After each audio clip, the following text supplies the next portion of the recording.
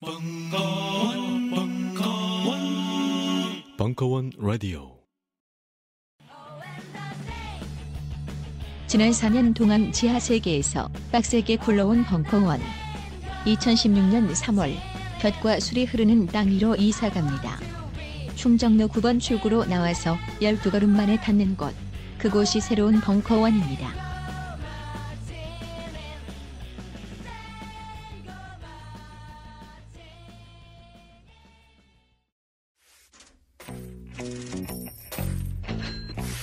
생활경제 코치 박미정의 적정 소비 생활. 내 삶의 적정 연비는 얼마인가? 일부 2016년 2월 19일 강연. 네, 안녕하세요. 반갑습니다. 네. 아, 이렇게 뵙게 돼서 반갑습니다. 저는 어, 적정 소비 생활 저자이기도 하고요. 어, 경제교육 협동조합 푸른 살림이라는 곳에서 어, 생활경제 교육 및 코칭을 진행하고 있습니다.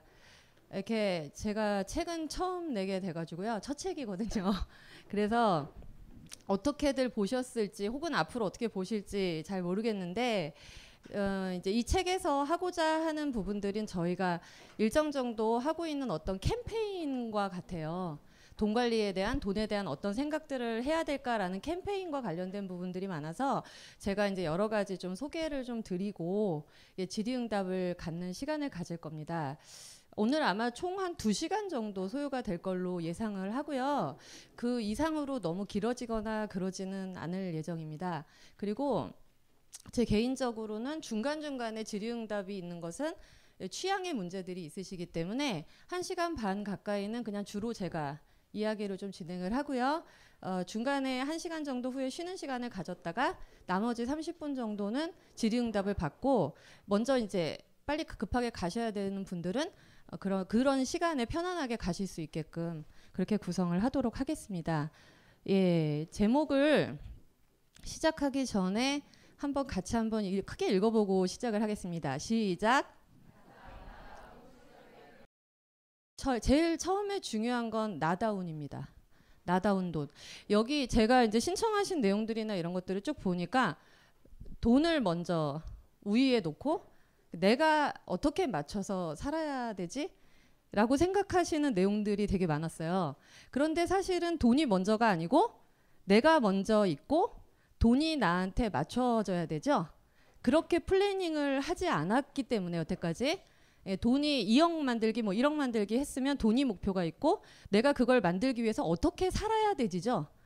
그러다 보니까 그게 이제 체력도 좋고 머리도 좋고 할 때 이제 젊을 때는 내가 그렇게 살 수도 있을 것 같아요. 노력해서. 근데 점점 나이도 들어가고 하면서 내가 왜 그러고 살아야 되지? 하는 왜 내가 애초에 돈을 왜 벌려고 했던 거지? 하는 질문에 봉착들을 하시게 되면서 여기 다, 딜레마가 생기시는 거죠. 딜레마, 갈등. 어떤 갈등이냐? 그렇다고 돈이 안 중요한가요? 그래도 여전히 돈은 되게 중요한 문제잖아요. 그래서 나다운 게 뭔지도 오늘 살펴보려고 하고요.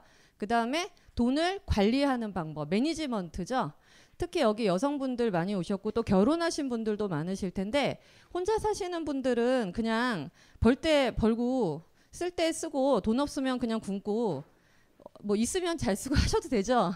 그런데 이제 가장 골치 아프신 분들은 나만 혼자 먹고 살면 끝나면 되지 않으시는 분들이 이제 골치가 아프실 거예요. 그렇죠? 그런 분들이 이제 매니지먼트를 하시는 거죠. 일, 일례로 예 말씀드리면 경영하시는 거죠. 경영. 예를 들면 한 달에 100만 원 들어오면 100만 원으로 경영하시는 거고 한 달에 이제 뭐 500만 원이 들어오면 500만 원에서 한 달에 30만 원 들어오시면 또 30만 원으로 살림을 하시는 건 경영입니다. 그렇기 때문에 되게 위대한 일이거든요. 이미 여러분들은 대단히 위대한 경제 활동들을 하고 계십니다. 살림살이를 유지하고 계시잖아요. 주어진 어떤 자원 내에서 이것의 우선순위를 배분하면서 쪼개서 쓰고 이러는 것은 굉장히 위대한 일이죠. 그런데 이제 그런 내용들 속에서 사실은 돈 고민이 있으시기 때문에 오셨을 거니까 이제 내용들을 한번 하나하나 보도록 하겠습니다. 두 번째는 한번 다 같이 제목은 크게 한번 읽어보고 또 시작을 할게요. 시작. 네.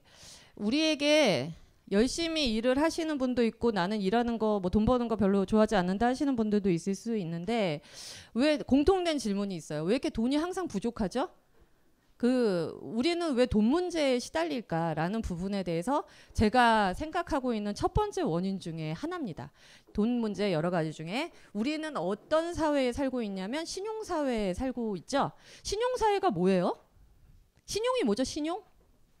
신용을 영어로 하면 뭐죠? 왜 우리 카, 신용카드 뭐라 그래요? 예, 크레딧입니다. 뭐 크레딧이 뭐예요? 뭐 어떤 분이 그러셨더라고요. 믿음, 신용, 기독교, 미, 종교 아니 시, 뭘 믿어요? 상환 능력을 믿는다는 전문가적인 발언을 하신 분이 계십니다. 네, 신용 사회의 특징이 있어요. 신용 사회는 여러분들이 돈을 먼저 주지 않아도 물건을 받을 수 있는 사회. 그렇지 않습니까? 그리고 먼저 내가 노트북이 사고 싶다, 핸드폰이 사고 싶다면 사시죠? 그 다음에 그것을 내가 결제 카드를 내민 다음에 언제 결제돼요? 한 달 후에 결제가 되지 않습니까? 할부로 끊으시면 심지어 6개월 후까지 결제가 n분의 1 됩니다. 그러니까 사실은 이런 시스템을 신용 거래가 가능한 시스템이라고 하고 여러분들이 현재 당장 주머니에 돈이 없어도 노트북이나 핸드폰이나 냉장고나 평면 TV나 다 원하실 때 살 수가 있어요. 그렇죠? 여러분들이 내가 돈이 없어서 저런 것도 못 사고 살다니 하는 자괴감을 느끼시지 않도록 이미 그런 것들을 살 수 있게끔 시스템이 다 되어 있습니다. 자, 그런데 여러분들 지갑에는 누구나 뭐 없으신 분들도 있으시겠지만 두 가지 종류의 결제 도구를 갖고 계세요. 결제 수단은 하나가 현금이고요. 지갑에 현금 있으시죠? 그리고 나머지 하나가 신용카드죠. 자, 만약에 여러분들이 지갑에 현금이 5만 원이 있다. 신용카드 한도는 한 어느 정도 되세요? 요즘에 한 얼마 정도 주나? 한 300만 원 주나요? 200, 300 정도 주나요? 아니면 500 주나요? 200에서 한 300 정도 주나요? 예. 그럼 예를 들어서 한 300만 원이 내 신용카드 한도다. 그러면 여러분들이 오늘 저녁에 강의 끝나고 저기 대학로 나가셔 가지고 쓸 수 있는 총액은 네, 305만 원 되겠습니다. 그 중에 내 돈은 300만 원 누구 돈이에요? 내가 쓸 수 있는 돈인데요. 여러분들 300만 원 다 긁어도 누가 뭐라고 안 하는데 그거 누가 내 지갑에 넣어놨죠? 여러분들 보고 쓰라고 쓰라고 들어와 있는 돈이잖아요. 누가 넣어놨어요? 여러분들이 신청하셨어요? 애매해요. 내가 신청했나? 누가 나한테 꽂아줬나? 되게 애매합니다. 그쵸? 저도 그 애매함 때문에 고생 좀 했어요. 아, 이게 내 돈 같기도 하고 아닌 것 같기도 하고. 나가야 되는 돈이죠? 자, 물건을 샀는데 돈을 내 쓰고 물건을 받아야 되는데 물건을 먼저 받고 돈을 나중에 주는 거를 전문 용어가 있어요. 옛날에. 이걸 뭐라 그러죠? 그렇죠. 외상을 아는 세대와 모르는 세대가 있습니다. 외상 처음 들어보신 분 있으세요? 외상. 젊은 층들은 외상 잘 몰라요. 왜? 외상이란 말 요즘에 잘 안 써요. 옛날에는 외상으로 물건 사면 혼났어요. 왜 혼나죠? 능력 아닌가? 돈도 안 내고 물건도 가져오는데 외상 거래하면 혼납니다. 왜 혼나느냐? 어떻게 어른들한테 혼났냐면요. 너 그렇게 외상으로 자꾸 돈 물건 사버릇하면 돈 못 모아. 이래서 혼났어요. 돈 못 모아. 자, 외상 거래나 신용 거래나 메커니즘이 똑같아요. 단지 외상이라는 말이 너무 부정적 뉘앙스니까 이게 좋은 말로 이렇게 세탁된 거 아닙니까? 예, 신용 거래. 누구나 지금 당장 가진 돈이 없어도 충분히 소비 생활을 누리실 수 있으니까 옛날보다 요즘이 더 행복하죠, 그렇죠? 물건도 막 살 수 있잖아요. 편리해진 건 사실입니다. 제가 어디서 저축 강의를 막 했어요. 저축에 대해서 막 강의를 하는데 어떤 젊은 친구가 자기 이해가 안 된대요. 선생님 어차피 20만 원씩 계속 모으시는 게 노트북 살라고 모으시는 거 아니에요? 어, 그치? 근데 왜 노트북을 1년 동안 돈을 모아서 사요? 먼저 노트북을 사고 할부로 사서 할부로 갚으면 되잖아요. 그러면 노트북을 먼저 쓰고 있을 수 있잖아요. 이렇게 얘기를 하더라고요. 어느 게 이익이냐 이렇게 얘기를 하더라고요. 여러분들 생각은 어떠세요? A. 돈을 열심히 모아서 내가 사고자 하는 노트북을 산다. B. 일단 노트북을 사서 쓰면서 돈을 같은 액수의 돈을 갚아 나간다. A하고 B 중에 여러분들은 어떤 게 나한테 맞다고 생각을 하세요? 근데 왜 B로 하면 뭐 A로 하면 뭐 뭐가 문제예요? 신용 거래가 대체 뭐가 문제죠? 신용카드 쓰는 게 나빠요? 뭐가 문제일까? 아까 말씀드렸듯이 여러분들 지갑에 있는 5만 원 내 돈인 거 알겠는데 카드 한도는 내 돈인지 아닌지 긴가민가 싶다. 자, 이 돈을 썼을 때는 갚아야 되기 때문에 내 돈이 아닌 것 같다. 그러면 만약에 쓰셨으면 도대체 어디서 갖다 쓴 거죠? 은행에서? 결국은 여러분들의 미래 지출 가능 여력을 땡겨 쓴 거죠. 왜냐하면 갚는다는 건 내가 그 돈을 딴 데 쓸 수도 있는데 거기 가, 내 과거에 저질러 놓은 거를 그걸 갚는 일이 될 테니까요. 여러분들이 현재를 더 많이 더 많이 신용카드 한도를 더 키워서 누리면 누릴수록에 여러분들의 미래 여력은 더 많이 줄어들겠죠. 그냥 당연하죠. 특별한 지식도 아니고요. 자, 미래가 줄어 여력이 줄어든다는 걸 내가 너무 멍청해서 잘 모르고 있을까요? 아니에요. 사람은 귀신같이 그걸 알고 있습니다. 그렇기 때문에 내 미래 여력이 줄어들면 줄어들수록 미래 불안이 커집니다. 하, 좀 뭔가 좀 이상해. 오늘 내가 사고 싶은 건 다 산 것 같긴 한데 뭔가 좀 이상해. 이게 그 내가 오늘 내가 가, 지갑에 가지고 있는 돈 그 여력 이상만큼을 썼다는 건 그만큼의 여러분들의 마일리지라고 표현하거든요. 돈으로 받은 마일리지의 많은 부분, 미래의 많은 부분을 땡겨 썼다라는 것을 귀신같이 알고 계시는 겁니다. 그래서 미래 불안이 커집니다. 원래 여러분들 미래 불안한 거 당연한 거 아니에요? 우리가 당장 내일 앞도 모르는데 그쵸? 당연히 불안하죠. 그런데 돈을 가지고 있으면 미래 불안의 느낌이 조금 경감돼요. 왜? 내가 100만 원 갖고 있으면 앞으로 한 달 정도는 더 살 수 있을 것 같고 천만 원 갖고 있으면요. 그래도 한 몇 달은 버티겠구나 하는 생각들을 사람에게 은연중에 주거든요. 통장 잔고 있잖아요. 통장 잔고. 여러분들이 가지고 지금 주거래 은행으로 쓰시는 통장에 한 돈 천만 원이 들어있다고 생각해 보세요. 여러분들은 여러분들 표정이 안 보이시죠? 여기선 저는 여러분들 표정이 보여요. 지금 가상으로 제가 천만 원씩 꽂아드렸는데 지금 되게 밝아졌어요. 여기가 펴져요. 여기가. 그럼 반대로 얘기를 하면 내가 돈을 특별히 못 벌고 있는 것도 아닌데 통장 잔고에는 맨날 간당간당 돈이 없고 나는 항상 통장 25일 통장 신용카드 결제일만 되면은 통장 잔액 챙겨, 채워 넣어야 되는 고민만 해야 되고 이런 삶과 여러분들 통장에 그냥 천만 원 꽂혀 있어서 거기서 그냥 물건 결제되고 뭐 해도 대충 큰 문제 없이 다시 채워지고 월급 들어오면 그러는 삶하고 어떤 삶이 훨씬 더 마음이 편안하고 미래 불안이 덜할까? 미래 불안이 대단히 큰 개념이 아니고요. 여러분들이 통장 잔고만 갖고 있어봐도 아 많이 경감되는구나를 느낄 수가 있어요. 그게 저희가 이제 재무 상담을 하는 이유기도 합니다. 자, 신용 사회는요 이렇게 불러요. 체계적인 가불 시스템이다. 저는 그 피해를 많이 본 사람 중에 하나입니다. 저는 현재 행복을 굉장히 중요하게 생각해요. 그래서 나중을 위해서 현재를 허리띠를 졸라맬 생각이 없습니다. 그런데 지금 제가 나이가 그럴 나이가 아니에요.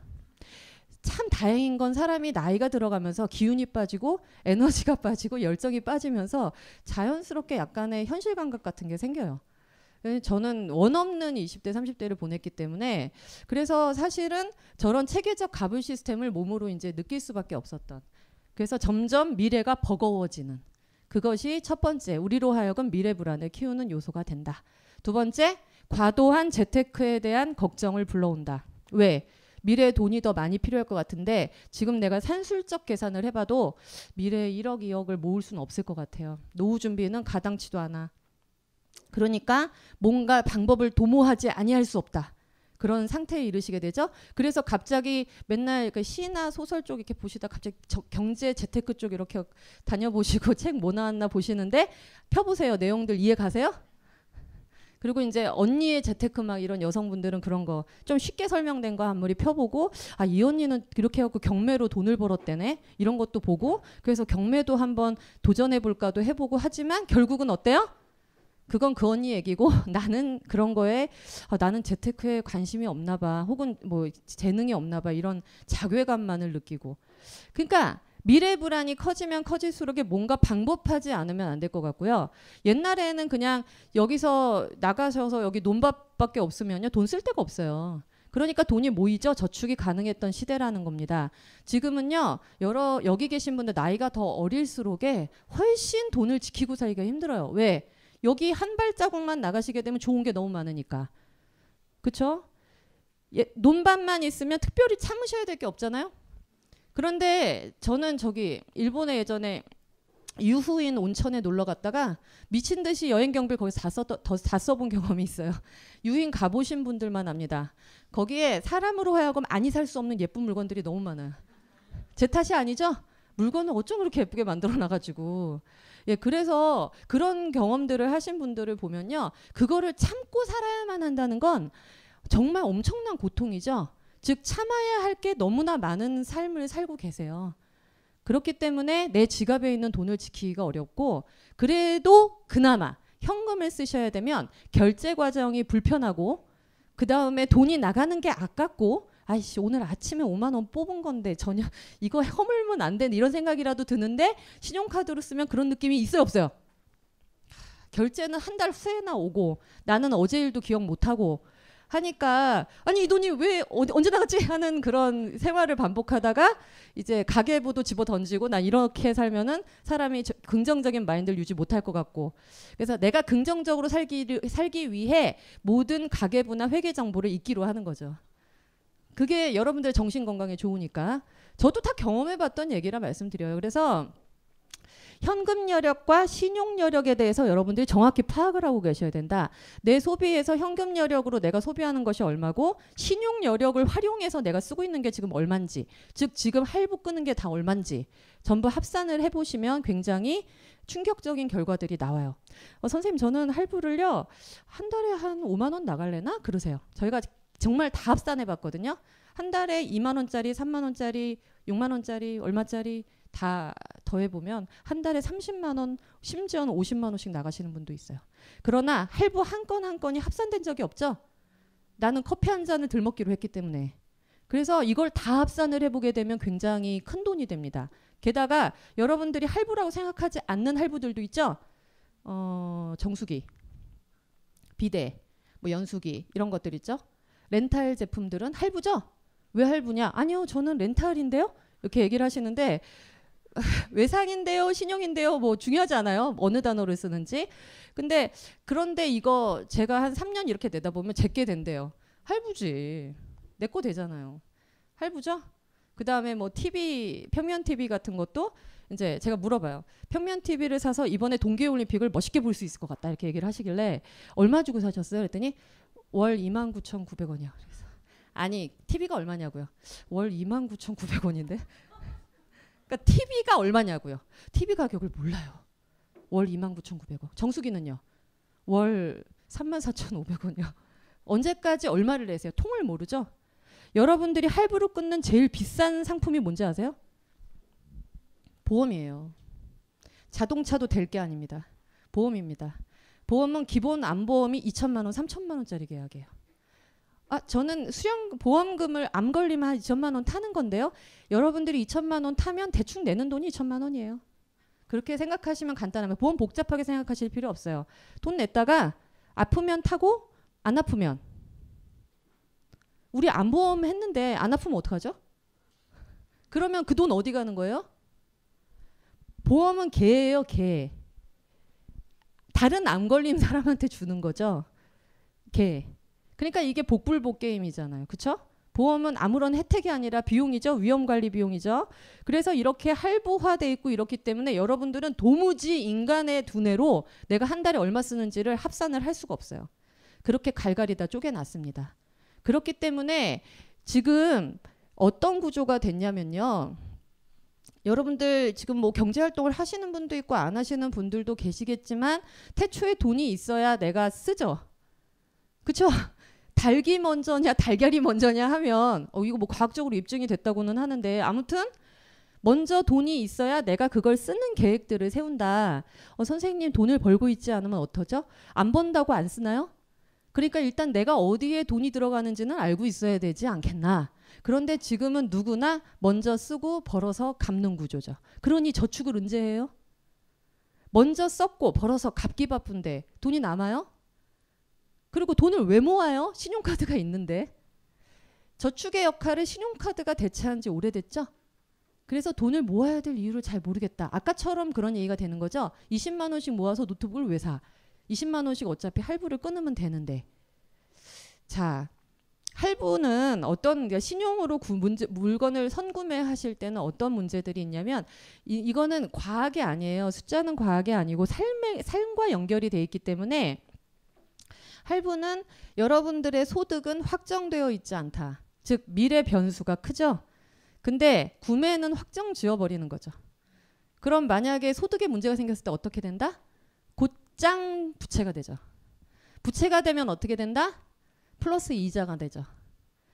여러분들이 부채를 내는 데까지는 아무 문제 없죠. 뭐 나중 갚으나 내가 도, 뭐 저축해서 나중에 내나 상관이 없는데 항상 여러분들을 힘들게 하는 것은 플러스 알파 이자를 내는 부분입니다. 이자.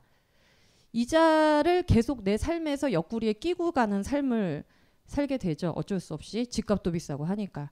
그래서 이런 부분들을 제가 순서를 그냥 바꿔드리는 훈련을 하는 거예요. 먼저 버는 돈에서 내지는 부모님이 주신 용돈에서 내가 어떻게 쓰고 있는지를 보자라는 장부 쓰기를 뒤에서 제가 사례를 보여드리도록 하겠습니다.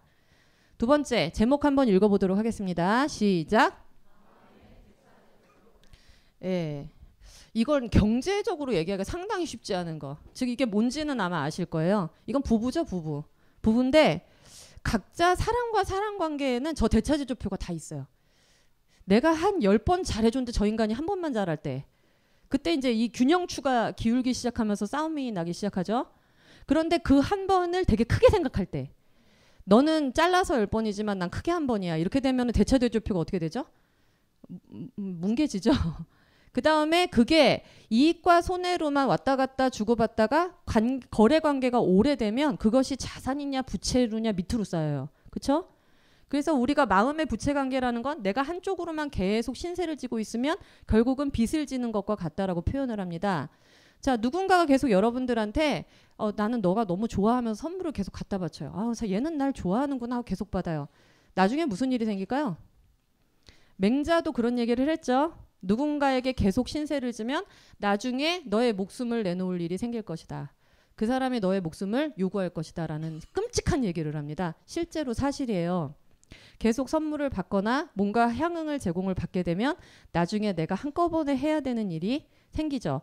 자, 그게 경제, 여러분들의 돈 관리하고 굉장히 밀접한 관련이 있기 때문에 이거를 보여드립니다.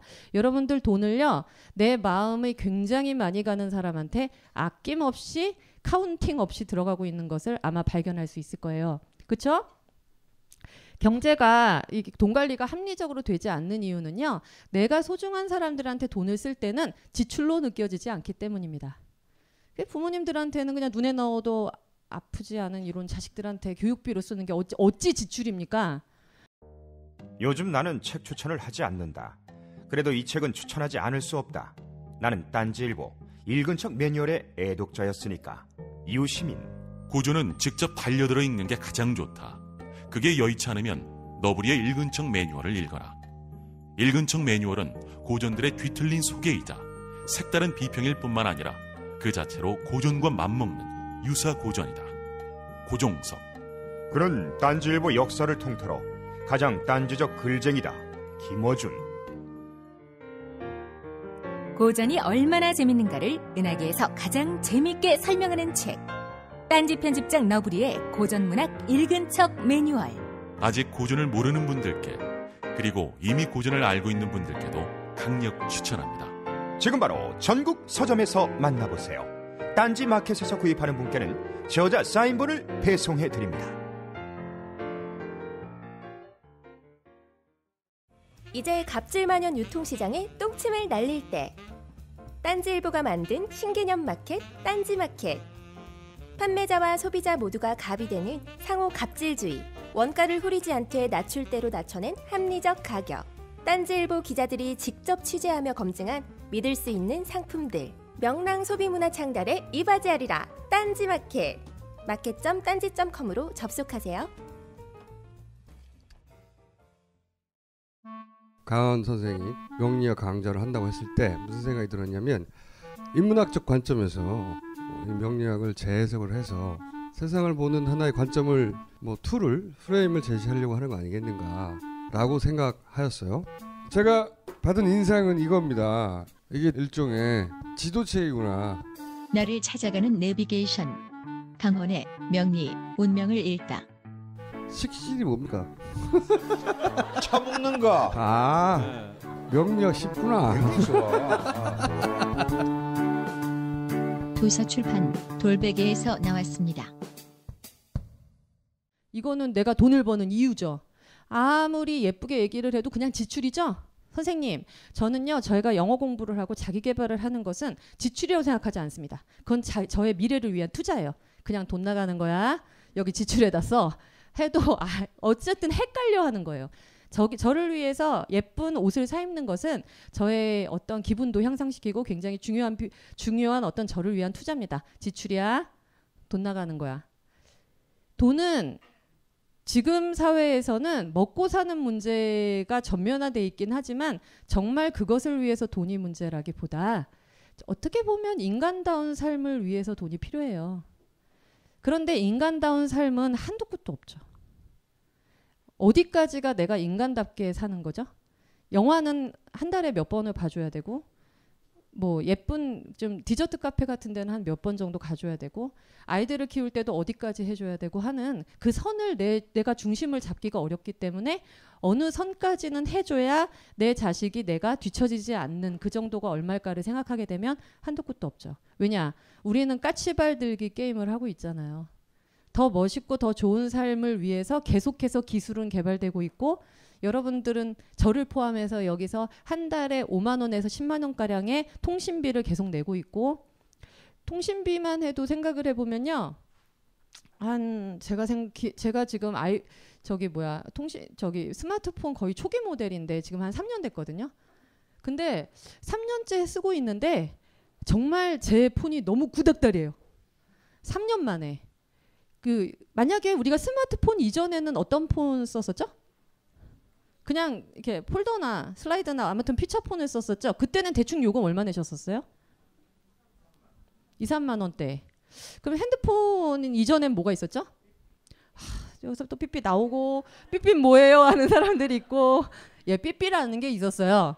삐 시티폰 하, 씨, 정말 많은 걸 알고 계십니다. 시티폰 잠깐 생겼다 없어졌는데 예 삐삐 얼마 정도 냈었죠 비용? 만 원. 5천 원, 만 원 정도. 그 다음에 집에 유선 전화 다 있었죠? 집에 유선 전화 요금 얼마 정도 나갔죠? 얼마 정도 나갔었어요? 지금 인터넷 전화 쓰시죠? 인터넷 전화는 얼마예요? 물어보면 잘 몰라요. 왜 몰라요? 결합 상품인데요. 우리 가족 다 묶어서 했는데 이렇게 해서 카운팅이 어렵다. 단가 계산이 어려워요. 그쵸? 뭐 알아야 비싼 줄 싼 줄 알 거 아니에요. 근데 묶어버리니까. 옛날에 제가 기억나는 건 PC 통신 아시는 분 나이가 공개되네. 아 제가 보기보다 제가 나이가 많아서 예 근데 이거 띠디디디 하는 그 소리를 기억하시는 분이 있으시다 그 쾌감 그 파란 바다에 빠져서 정보가 막 엄청 많고 그때는요 그거를 하게 되면은 어느 집에서 전화 요금이 10만 원 20만 원 나왔네 갖고 이제 누가 맞아 죽을 뻔했네 하는 얘기들이 심심치 않게 기사로 회자됐었거든요 그게 불과 몇 년 전? 응답하라 때가 몇 년 전이에요? 1988년이니까 약 한 20년? 그때까지만 해도 그런 게 되게 일반화되지 않았을 때니까요. 불과 10에서 20년 상간에 지금의 핸드폰 문화를 생각해 보세요. 통신은 무료예요. 뭘로 과금을 하죠? 네, 데이터로. 여러분들은 주로 어디에 쓰시죠? 데이터로. 데이터로 주로 뭐 하시죠? 카톡 하는데요. 네. 카톡은 무료잖아요. 왜냐하면 데이터 요금을 내니까. 그쵸? 그러니까 지금 여러분들이 이변이 없는 한 이제 앞으로를 볼게요. 앞으로를 보면 통신비가 늘어날까요? 줄어들까요? 우리의 다음 세대는 통신비를 더 많이 쓸까요? 적게 쓸까요? 뭔가의 교과 과정 같은 걸 보니까 종이도 없애겠대요. 네, 종이도 없애고 전부 다 그 태블릿으로 수업하고 좋죠? 해리포터의 책 같은 게 있는 거잖아요. 우리는 그냥 그림만 봤었는데 얘네들은 그림이 움직일 수도 있는 것이고 이렇게 볼 수 있다 다 좋은 일입니다. 종이를 없애는 거 환경을 위해서도 좋을 것 같고 그런데 그 비용은 어떡하죠? 통신비는 여, 신 여러분들에게 새롭게 고정 비용이 됐죠. 그래서 아, 얘 너무 비싸네. 통신비 좀 어떻게 좀 깎아봐야 없애버려야 되겠다 할 수 있으세요? 선택의 여지가 있어요, 없어요? 이런 게 여러분들 가계부에 하나씩, 둘씩, 셋씩 붙습니다. 즉 나가야만 하는 돈이에요. 다 여러분들이 과소비한 적이 없어요. 저희가 조사해 보니까 써 보도 못하고 나가는 돈이 가계 지출의 70% 가까이가 됩니다. 예를 들면 결혼하시면 더 심각하죠. 뭐 주택 담보 대출이다. 아이들 뭐 학원비다 이러면요. 내가 써보고 나가는 게 아니에요. 아이들 학원은 어머니들이 우스갯소리로 이렇게 얘기하거든요. 사는 동네가 결정해 주세요. 엄마가 결정한 적이 없어요. 그리고 엄마는 뭐 하면 되죠? 결제하시면 되죠. 그러니까 사실은 이런 걸 다 따지고 나면 내가 손에 쥐고 쓰는 돈, 가처분 소득이라고 하거든요. 내가 쥐고 쓰는 돈이 1970년대 사시는 주부님들보다 지금 사시는 주부님들이 없어요. 그러니까 자꾸 돈이 이상하다. 예전보다는 분명히 더 많이 버는 것 같은데 돈이 다 어디 가지? 어디 갈까요? 만져보지도 못하고 나가니까. 그쵸? 이런 부분들이 사실은 우리가 지금 돈 문제로 걱정하고 있는 실체들입니다. 여러분들이 알게 모르게 통장에 빨대가 딱 꽂힌 다음에 나가기 시작하면 빨대를 끊을 수가 없는 거죠. 자, 아까도 말씀드렸듯이 통신비 같은 거 내가 조정할 수가 없어요. 해봤자 우리가 뭐 정도 할 수 있는 거예요? 알뜰폰으로 바꿀까? 뭐 이 정도? 그죠? 그랬다가 제 주변에 많습니다. 뭐 detox를 하겠다는 돈 디지털 그래갖고 없애고 feature phone 썼다가 3개월 만에 가장 길게 버틴 애가 3개월이었거든요. 컴백했죠. 왜냐하면 그 디지털 커뮤니티에서 소외되잖아요. 처음에는 애정을 가지고 따로 문자 메시지 해주죠. 뭐 애정도 하루 이틀이죠. 그래서 사실은 이 이익과 손해, 자산과 부채 이 부분에 대해서 마음의 주고받음을 저희가 이제 coaching이나 교육을 하게 되면 보게 해서 내가 사실 뭐 이렇게 연애하는 친구들 같은 경우에는 남자친구한테 돈이 흠뻑흠뻑 들어가고 있는지 나도 모르게 어, 어머님들 같은 경우에는 내 자식한테 돈이 굉장히 많이 들어가고 있는지 이런 것들을 보게 하는 거. 문제라고 말씀드린 게 아닙니다. 일단은 보게 하는 거. 그래서 나를 위해서 쓰여지는 돈은 얼마고 내가 누군가를 위해서 쓰는 돈은 얼마인지 이런 균형 관계가 여러분들이 이유를 모르게 짜증이 나는 이유 중에 하나예요. 이유는 잘 알 수 없는데 하나 제, 저, 저 친구만 보면 짜증 나는 건 여러분들이 경제적으로 굉장히 이 평형 관계가 맞고 있, 맞지 않기 때문이라는 거를 알 수가 있습니다. 자, 이 부분이 제목을 같이 한번 읽어볼게요. 시작. 여기 이게 변윤희 작가라고 되게 유명하신 분이신데요. 그분이 그린 그림이에요. 뭔가 익숙한 풍경 아니세요? 예. 이게 우리 어머님들은 제일 싫어하는 풍경이고요. 이게 저는 되게 익숙해요. 음, 주말에 주로 저렇게 보내고. 근데 이게 여기 제목이 굉장히 중요합니다. 제목을 같이 한번 읽어볼까요? 시작. 감정이 경제 여러분들의 돈 관리에 미치는 영향이 지대합니다. 예를 들면 이런 거죠. 오늘 가서 제가 코트를 샀는데 왜 샀는지를 잘 모르겠어요. 그, 그러면 저희가 그런 대화가 가능해요. 왜 샀는지 쭉 추적을 하다 보니까 오늘 자기가 완전 싫어하던 상사한테 깨졌어요. 그 상사가 나를 인간적으로 모욕을 했어요. 나는 인간적으로 다시 나의 인간적인 면을 복권할 필요가 있어요. 이 찌그러진 걸 다시 펴야 돼. 그럴 때 주로 가장 손쉽게 할 수 있는 게 돈을 쓰는 일이죠. 돈이 있어서 얼마나 다행이에요. 자존감도 펴지는데. 그쵸? 그래서 이 허전함은 주로 공허감, 외로움, 허전함 같은 것들은 주로 뭘로 나타난대요? 이상하게 배가 고파요. 허기로 많이 나타난다. 온기에 대한 욕구는 주로 관계에서 돈을 쓰는 대로 많이 나타난다. 관계 맺으려면 돈 써야 되잖아요. 누군가 만나야 될 것이고 뭐는 같이 먹어야 될 것이고 사람한테 선물도 해야 할 것이고 그래서 사실 돈 저희가 돈에 대해서 관리를 이야기할 때는 돈을 체계적으로 관리하는 게 아니라 돈을 통해서 나를 볼 것을 많이 강조를 합니다. 여러분들 다 한 종이 하나씩 받으셨죠? 지금 타임에서 살짝 잠깐 한 제가 시간을 드릴 거예요. 자기를 보는 시간입니다. 뭘로 경제적인 지표로 자신을 보는 시간인데 자 이거 보시고 너무 또 스트레스 받지 마시고요. 그냥 제발 좀 그냥 보세요. 많이 쓰네 적게 쓰네 반성하지 마시고 아 내가 여기에 이만큼씩을 쓰는구나를 한번 적어보는 시간을 가져보도록 하겠습니다. 예 한번 적어보도록 하겠습니다.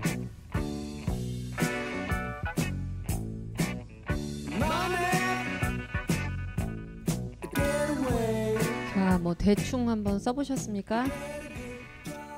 아직 더 쓰셔야 되겠지만 내용을 좀 보시라고 시간을 좀 드렸어요. 그렇죠? 여기서 충분히 다 쓰시기 어려우실 것이고 배우자가 있으신 분들은 배우자랑 또 의논을 해 보셔야 될 것이고 제가 부탁 말씀 하나 드리는데요. 여기 배우자가 같이 안 오신 분들은 괜히 가셔서도 또 싸우지 마세요. 예. 그 우리 도, 좋게 하려고 이거 조사하는 거니까. 예. 그리고 이제 특히 여기 남자분들 오셨을 때 이제 아내에게 자 내가 교육을 하나 들었는데 우리의 가족의 지출 내역을 알아야 한다고 하더라 하면서 다짜고짜 물어보지 마세요. 예, 부인이 이렇게 즐겁게 생각하실 가능성이 적습니다. 그냥 그 원래는 여러분들 갖고 계시는 분들은 책 뒤에 보면 이게 다 나와 있는데 사실은 장부 쓰기에 대해서 설명이 약간 필요해서 예, 사실 오늘은 저자 강연에는 주로 그걸 중심으로 왜냐하면 문제점이나 이런 것들 여러분도 많이 아시죠? 여러분들이 쓰신 것은 대충 이렇게 크게 수지 균형의 감각을 잡으시는 게 되게 중요해요. 자, 제목 한번 다 같이 읽어 볼게요. 시작. 수지 균형이 뭐냐? 말 그대로예요. 수입과 지출의 균형. 자, 수입은 뭐 예를 들어서 제가 월 평균 100만 원 법니다. 그랬더니 이렇게 이변이 없는 한 이렇게 크게 큰 카테고리로 세 개로 나가요. 자, 여러분들이 예전에 쓰셔 가지고 지금 갚아야 되는 미래 걸 땡겨 쓰신 거죠? 아까 얘기 말씀드렸듯이 그래서 갚아야 되는 게 이제 대출 상환. 그 다음이 지금 먹고 사는 현재 지출. 나중에 써야 하는 미래 저축. 이렇게 세 가지로 구분이 된단 말입니다. 자, 이 사람 같은 경우는 지금 20, 70, 10으로 딱 맞춰서 요 세 개를 더했을 때 뭐하고 맞다? 수입하고 맞다. 아, 선생님, 뭔가 돈을 남기는 게 좋은 거 아닌가요? 아니죠. 남았을 것 같으면 뭐가 늘어나면 돼요? 저축이 늘어나면 되니까 수지 균형을 맞추는 훈련을 하시는 게 되게 중요하다는 거죠. 자, 만약에 제가 이렇게 경기가 안 좋아가지고 월급이 100만 원에서 80만 원으로 깎였어요. 그러면 어떻게 하면 좋죠? 다 맞춰서 살고 있는데 어떻게 하면 좋아요? 지출을 줄인다. 이러니까 우리가 마음이 월급이 깎였을 때 마음이 아, 일단 월급이 깎인 것도 짜증나 죽겠는데 지금 70만 원에 맞춰서 살고 있는데 여기서 이걸 50만 원으로 이, 줄이라는 건 무려 몇 퍼센트나 지출을 줄이라는 얘기입니까? 비중으로 따지면 어마어마한 거잖아요. 그래서 저희가 추천하는 방법이에요. 정답이 아니라 여러분들의 마음적 데미지를 줄일 수 있는 방법은 뭐부터 날려라? 월급이 깎인 상황은 경제적인 어떤 비상 상황이기 때문에 미래고 뭐고 없어요. 그렇죠? 그러니까 일단 뭐부터 날려요? 저축부터 날립니다. 저축만은 안 돼요. 이러신 분들 많아요. 저희 상담 오셔가지고 저는 이거 하나 믿고 살아요. 아니 마이너스 나는데 저축이 뭔 소용이에요. 그쵸? 그래서 저축부터 날린다. 그 다음에 그래도 모자라니까 어디로 올라가요? 지출을 이제 10만 원을 줄일 수밖에 없는 상황으로 가죠. 얘는요? 얘는 줄일 수 있어요? 없어요? 예, 어렵죠. 얘는.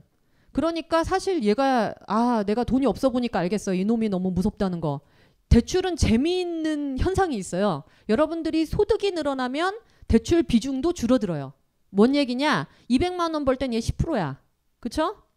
그런데 내가 소득이 줄어들면 부채 비중은 늘어나게 돼 있어요. 비율이. 지금은 몇 퍼센트인 거죠? 20%로 늘어났잖아요. 자기 소득에서 차지하는 비율이. 그래서 빚이 무서운 거예요. 언제? 소득이 줄어들 때. 옛날에 돈 많이 벌 때는 빚 갚는 거 그거 뭐 일도 아니었거든요. 그랬는데 소득의 변동성이 오게 되면 제일 누가 무서워진다고요? 부채가. 그쵸?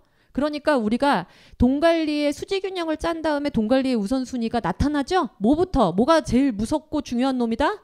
예, 예. 그 다음이 지금 먹고 사는 거. 그 다음이 저축이에요. 그 다음이. 그쵸? 얘가 먼저 해놓는 게 아니라 이제야 알겠는 거죠. 제가 왜 저축만 하면 3개월 안에 깨는지를. 그러면서 저한테 상담을 하시는 거예요. 저는 저축을 안 하려고요. 왜요? 3개월 못 넘기더라고요. 왜 못 넘겼을까? 수지균형 개념이 없었기 때문이죠. 무조건 50만 원을 먼저 저축을 하고 나머지로 살겠다라는 결심은 길어야 세 달 가는 거예요. 그렇게 살 이유가 없는 거죠. 그렇기 때문에 사실은 없어 보니까 이 우선순위를 알겠다. 이제 이렇게 되는 것이고 반대로 소득이 올랐어요. 제가 120만 원 이제 벌게 됐어요. 20만 원이 늘었죠? 어떻게 하시겠습니까? 자, 손 한번 들어볼까요? 자, 여기 이 순서부터. 자, 나는 빚을 갚았다. 손 들어보세요. 오, 맞네요. 나는 지출을 늘리겠다. 없네요? 어, 뒤에 있었어요. 자, 그 다음에 나는 저축을 늘리겠다. 하, 이런 놀라운 분들을 봤나? 책을 봤구나. 네. 정답이죠? 저희가 제시하는 정답이에요. 예. 뭐부터 갚으라고요? 빚부터. 왜? 우리 돈 없을 때 얘 무서운 거 알았잖아요. 그래서 빨리 가. 무서울 때 무서운 줄을 알아야지. 우선순위는 어려울 때 느꼈던 우선순위는 호시절이라고 바뀌지 않아요. 중요한 거는 우리가 호시절이 되면 어려웠을 때 느꼈던 교훈을 잊어버리는 게 문제지. 그쵸? 빚부터 갚습니다. 왜? 왜 제가 이 말씀을 드리냐면요. 제일 많이 듣는 질문이기 때문이죠. 선생님, 제가 저희 남편이 퇴직금 중간 정산을 받았는데 이 돈으로 뭘 하면 좋죠? 빚 갚으세요. 아니요, 선생님. 그게 아니라 제가 이게 목돈이 갑자기 생겼잖아요. 이거를 좀 어떻게 운용을 해볼 수 있는 방법이 없을까요? 빚 갚으려니까요. 끝까지 말을 안 들어. 왜 이 사람은 퇴직금 중간 정산 받은 돈을 빚 갚는 걸 이렇게까지 싫어할까요? 이해 가세요? 이해 가죠. 왜? 빚 갚으면 그냥 없어지잖아요. 그냥 뭔가 물 잉크에 물 탄 듯이 없어지는 거잖아. 하지만 지금 쓰면 뽀다구가 나고 미래를 위해 저축하면 뿌듯한데 빚을 갚으면 돈이 그냥 없어져 버리잖아. 이런 느낌이 든다. 그래서 빚을 잘 안 갚으려고 해요. 아 선생님 저는 20년 장기로 갚기로 했기 때문에 더 건드리진 않으려고요. 중도 상환하면 중도 상환 수수료를 내야 되거든요. 여러 가지 이유를 붙이게 됩니다. 근데 생각해 보면 저희가 빚을 갚아야지. 저 빚을 갚는다는 건 이자를 갚는 건 빚을 갚는 게 아닙니다. 원금을 갚지 않으면 이자는 여러분 평생 같이 걸어가야 돼요. 그렇죠? 그렇기 때문에 뭘 갚는 게 빚을 갚는 거죠? 원금. 뭘 갚는 거요? 원금을 갚아야 그 그래야지 뭐가 줄어들어요? 이자가 줄어들고 그래야지 20만 원이 18만 원이 되고 15만 원이 돼야 비로소 그 여력이 무슨 여력으로 가요? 저축할 수 있는 여력으로 가니까. 이해 가세요? 빚을 갚아야지만 저축할 수 있는 여력이 되고 빚이 있는 한은 저축해봐야 내 심적 위로밖에 될 게 크게 없다는 겁니다. 그래서 여기가 손을 가장 많이 드셨어요. 그런데 실제로 사람들은 어떻게 하고 있을까요? 사람들은 주로 빚을 갚고 있을까요? 주로 어떻게 하고 있을까요? 돈 더 들어오면. 잘 알면서 왜 아무도 손 안 들어요? 아, 그렇게 하지 않겠다는 뜻이죠? 예. 그런데 저희는 어떻게 제안을 드리냐면 10만 원은 빚을 갚으셔라. 그런데 10만 원은 현재를 위해서 쓰셔라. 왜? 사람은 돈을 더 벌면 더 번 태가 나야 돼요. 더 버는 맛이 있어야지. 그쵸? 그래서 무조건 다 대출 상환으로 집어넣는 게 아니고요. 더 나에게 보상을 더 해주고 더 독려를 해줘야지 얘가 빚도 열심히 갚는다 이겁니다. 빚이 박탈감을 주는 이유는 거기 들어가면 다 없어지는 느낌이 들기 때문에 그렇게 느끼는 자신을 자책하지 말고 내가 그렇게 서운하게 느끼는 이유를 찾아서 보상을 해줘야지만이 무난히 경제적 사고를 치지 않고 간다는 거죠. 그래서 저축은요 생각을 해보세요. 월급이 떨어지면 저축하던 것도 날려야 되죠. 월급이 올랐다고 해도 쉽게 저축 여력은 나오지 않죠. 그래서 저축은요 원래 그냥 하는 게 아니에요. 어떻게 해야 되느냐면 애써서요. 자 어떻게 한다고요? 겁나 노력해서 저축하는 거예요. 그냥 하는 게 아닙니다. 돈이 안 남아요. 생각보다. 그래서 우리가 장부를 쓰는 이유는 뭐 하려고요? 저축하려고요. 저축을 하는데 내가 돈이 관리가 되고 현재 지출이나 관리가 된 다음에 돈을 남겨서 정말 저축하려고요. 맨날 3개월 붓고 6개월 붓고 깨는 게 아니라 내가 원하는 시간에 저축을 찾아서 원하는 목적에 쓰려고요. 그걸 유지하려면 얘네 둘이 탄탄하게 뒷받침이 되지 않으면 저축을 유지한다는 거는 큰 의미가 없어지게 되기 때문입니다. 이해 가시죠? 자, 그래서 저축은 왜 하는가가 간단히 제가 설명을 드릴게요. 저축 왜 하죠? 자, 한 분씩만, 한 세 분만 손을 들고 저축을 하는 목적을 제가 여쭤보도록 하겠습니다. 용감하신 분 한 분씩. 저축을 왜 합니까? 나는 이래서 합니다. 언젠가 쓰려고 하십니다. 네, 또. 저축을 아, 안, 하, 안 하는, 안 하는 건 괜찮아요. 예. 하는 분은, 예. 노후를 대비하기 위해서 굉장히 오래 걸리실 것 같은데요. 아직 굉장히 젊어 보이시는데. 예, 또. 또. 남성분들 중에 정말 진솔한 말씀을 하셨습니다. 자, 뭐라고 하셨는지 들리셨어요? 마음의 위로를 얻기 위해서. 예. 중요한 말씀을 하셨습니다. 저축은요, 마음을 위로도 얻고, 노후도 준비하고, 결국은 뭐 하려고요? 쓰려고. 예. 여러분들, 제가 만난 청년 중에 정말 놀라운 청년이 한 명 있었거든요. 목표는 2억 만들기. 그래서 IT에 근무하던 친구였는데, 낮에는 IT에 근무를 하고요. 회사에, 저녁 때는 여기 신촌 있는데 와서 바텐더에서 일을 하고요. 새벽 3시에 퇴근을 해서 4시간만 자고 또 아침에 출근을 해요.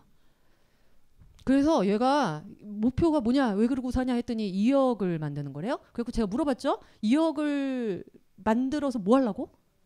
물어봤더니 예? 저는 그냥 2억을 갖는 게 꿈인데요. 아 그러니까 2억을 가져서 뭐 하려고 그랬더니 아니요 저는 2억을 갖는 게 꿈이에요. 그 뭐- 뭐 하려고 그래서 2억을 갖는 게 꿈입니다. 그래서 연애를 안 해요. 여자는 돈 든대요. 그래서 열심히 살아서 근데 중요한 건 이 청년이 주변 평판이 되게 좋아요. 진짜 열심히 사는 청년이에요. 문제는 이렇게 살다가 응급실에 실려갔어요. 얼굴이 노랗게 떠가지고 A형 간염이었어요. 이게 지금 웃으면서 얘기하지만 생명이 왔다 갔다 하는 얘기예요. 욕실에서 그냥 쓰러졌거든요. 아침에 출근하려고 준비하다가 그래서 제가 이제 한참 후에 그 사실을 알고 이제 놀러 가- 갔죠 이렇게. 음 이게 문병을 갔죠. 그랬더니 얘가 또 보험은 들었을까요? 돈도 아까운데 안 들었죠. 그래가지고 돈이 가- A형 간염으로 병원에 한 달 이상을 입원을 하게 되면 돈 많이 깨져요.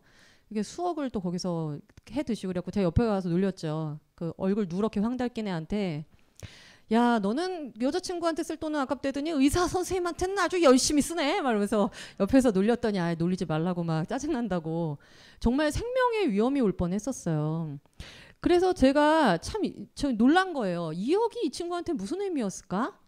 아무것도 안 하고 2억을 만들어서 뭘 하려고 했던 거지? 예. 이게 사실은 단적인 의미죠. 우리는 저축을 어, 재산을 만들고 부자가 되려고 하는 분도 계실 거예요. 하지만 서민이 저축해서 부자 되기란 상당히 쉽지가 않아요. 왜? 우리는 삶의 인프라에 돈이 많이 들어가니까 삶의 인프라라는 것은 뭐예요? 먹고 집 사는 집하고 이런 거를 기반을 마련하는데 무지무지한 돈이 들어가게 돼 있거든요. 결국은 언젠가는 쓰여지게 돼 있다. 자, 그런데 저축을 쓸 수 없다, 써서는 안 된다, 내지는 선생님 저는 천만 원을 억지로 모았으나 돈을 한 번 뒤를 돌아보니 돈이 없네요. 왜? 우리는 쓰려고 모았으니까. 그쵸? 천만 원이 없어졌다고 생각하는 게 아니라 그러려고 모았잖아요. 그래서 이런 묘한 박탈감들을 호소하시는 분들이 많기 때문에 저축은 애써서 하는 거고 원래 돈을 모은다면 없어지게 마련인 거고 중요한 건 어디다 썼는지가 되게 중요한 거죠. 열심히 모았다가 이제 남에게 홀랑 털렸는지 아니면 그나마 내가 썼는지 제가 금융 상품에 대한 책이 다음의 기획인데 어, 벌써 사전 홍보를 해요. 자, 왜 그러냐면 예, 어, 금융 피해자가 많으니까 금융 상품이나 금융 회사가 나쁜 게 아니에요. 그게 아니라 이렇게 메커니즘의 위험성을 너무 일반인들이 모르니까 왜 과소비 이런 건 나쁜 줄 아는데 저축 금융 상품 쓰는 건 나쁜 줄 모르니까 그, 좋은 거잖아요. 다 웬만하면은 그런데 예를 들어 그런 게 있죠. 여러분들이 돈을 뭐 천만 원짜리 예를 들어 명품백을 하나 질렀어요. 그래서 막 후회를 해. 아, 돈을 내가 왜 거기다 썼을까? 하지만 그거는 명품백이라도 남아 있죠. 그런데 여러분들이 펀드에 투자를 해가지고 천만 원 다 날라갔어요. 써보도 입지도 않고 먹지도 않고 모았던 그 돈을 그냥 날리는 경험들을 지금 하고 있는 거거든요. 금융시장이 생각보다 그렇게 호락호락하지 않기 때문에 그것에 대한 가이드가 굉장히 필요하다. 내가 나중에 3년 후에, 2년 후에, 5년 후에, 5년 후까지 가지도 아마 않을 거예요. 서민들이 평, 평소에 모은 돈을 찾아 쓰는 확률이 1.8년인가 이래요. 여러분들이 적금을 3년 이상 들을 필요가 없다는 뜻이에요, 이거는. 그쵸? 2년 안에는 쓸 일이 생깁니다. 그게 서민이거든요. 서민의 저축 주기. 그렇기 때문에 그 정말 연금을 드시고 노후 준비를 하시는 건 정말 좋은 일이나 2년 안에 해지하시는 일이 발생되면 비극 아닙니까? 왜? 모은 만큼도 못 찾았으니까 적합치 아니하다. 그 상품이 나쁜 게 아니라 이런 것들을 용도에 맞게 쓰시려면 교육이 좀 필요해서 저희가 다음 주제는 이제 저축하기예요. 저축을 쓰려고 모은다는 거를 많이들 잠깐 혼란을 느끼시기 때문에 그래서 여러분들이 지금 쓰신 내역들을 요거에 맞게 정리해 보시라고 제일 꼭대기에 보시게 되면 수지 균형을 쓰는 란이 있어요. 그쵸? 그냥 써보는 게 중요한 게 아니라 내가 수입은 얼마고 대출이 그래서 얼마고 이렇게 요 세 가지로 구분을 해서 정리를 하시는 게 중요합니다. 자, 그게 수지 균형이 딱 맞을 리가 없죠? 우리는 교육받고 쓴 게 아니니까. 자, 그러면 수지 균형을 맞춰야 되겠죠? 맞추는 게 여러 가지 방법이 있죠? 만약에 오바됐다. 이거 세 개를 더해봤더니 수입을 넘어선다. 그러면은 어떻게 해야 돼요? 방법이 뭐예요? 수준이 안 맞아. 수입이 부족해 하면 어떻게 해야 되죠? 남자분들은 주로 어떻게 대답하냐면 더 벌면 되죠. 이래요. 여자분들은 소비를 줄이겠습니다. 이렇게 얘기를 합니다. 성향에 따라 달라요. 더 버는 거 굉장히 좋은 방법이죠. 예, 그런데 더 버는 게 쉬워요? 쉬워요. 여러분들이 마음만 먹으시고 하루에 뽀잡 뛰시면 돼요. 아까 그 청년처럼 왜 왜 회사만 다니세요? 저녁 때 아, 편의점에서 알바도 좀 하시고 주말에는 하시고 남자분들 대리운전도 좀 하시고 해가지고 어떻게 월급으로만 살아요? 이렇게 얘기를 하면 제가 여기서 병 맞겠죠. 예, 더 벌 수 있다. 그런데 문제는 뭐냐면 더 못 벌어요, 더 안 벌어요. 헷갈리죠. 나는 더 못 버는 걸까? 더 안 버는 걸까? 그 예를 들어 주말에는 그 빵집 같은 데서 새벽에 알바도 좀 하시고 이래야지 돈을 좀 더 벌 수 있죠. 문제는 그렇게 안 하는 이유가 있어요. 왜 안 하시죠? 지속 가능하지 않으니까. 부채나 이런 것들을 반짝 내가 2억 모아야 돼 이럴 때가 아닌 이상은 그렇게 살 이유가 없죠. 인생은 마라톤이니까 40세까지만 살다 간다고 한다면은 바짝 벌어서 바짝 신나겠어도 되고 여기 계실 필요가 없지. 지금 저희 가서 노는 게 낫지. 그런데 몇 세 인생 시대예요? 네, 모르겠어. 인생이라는 게 복불복이라 어떻게 될지 모르지만 일단 우리는 100년짜리 인생을 부여받고 사는 거죠. 그래서 100세에 대해서는 조금 더 장기적 안목으로 이게 준비가 필요하기 때문에 그런 걸 저희가 M 밸런스. 자, 밸런스의 뜻은 균형을 잡는다. 전반적으로. 자, 수지 균형은 이게 한 달짜리거든요. 여러분들 버는 내에서 어떻게 배분할지가 한 달짜리 균형이라면 100세 인생을 놓고 얼마를 쓰고 벌 수 있을 때는 벌어서 벌 수 없을 때를 대비하고 하는 배분이 또 인생 전반에 균형을 잡는 일이잖아요. 그렇기 때문에 제일 먼저 한 달을 맞추지 못하면 그 미래의 계획을 세운다는 건 굉장히 어려운 일이죠. 내 한 달이 맞아야 그게 확장돼서 미래 계획도 세우는 것이죠. 자, 그래서 지금 보시게 되면은 이렇게 수지 균형을 맞추는 작업들을 하실 필요가 있다. 그런데 저희가 장부를 왜 안 쓰십니까? 라고 이제 물어보면 이런 얘기들이 나옵니다. 근데 저는 가장 주목할 만한 내용이 있었어요. 예. 다 어느 게 제일 공감되세요? 물어봐봤자 의미가 없어요. 다 공감된다고 할 거니까. 그래서 이 이거 있죠, 이거 이거.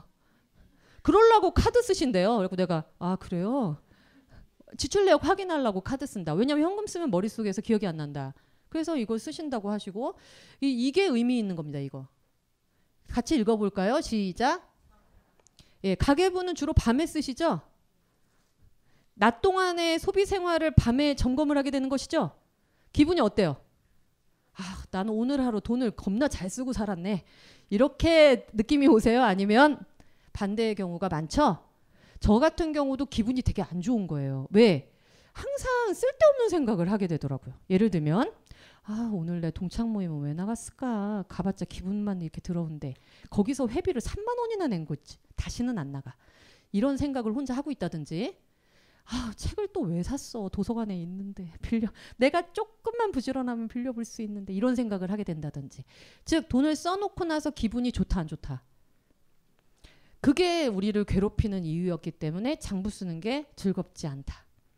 이유가 있는 겁니다. 그래서 지금 이, 여기서 이제 같이 얘기를 한 사람들은 이제 밖에서 이렇게 얘기하는 거죠. 우리는 가계부를 못 쓰는 게 아니라 안 쓴 거예요. 네, 가계부를 못 쓰는 게 아니라 어떻다고요? 난 안 써. 왜? 자꾸 돈돈거리게 되는 게 싫으니까. 그런데 뭔가 2% 뭔가 찔리는 게 있어요. 그래도 내가 이렇게 모르고 살아도 되나? 뭔가 알아야 되지 않나? 자, 중요한 건요. 이 강의는 벙커원 어플에서 동영상으로도 시청하실 수 있습니다. 벙커원, 벙커원, 벙커원 라디오.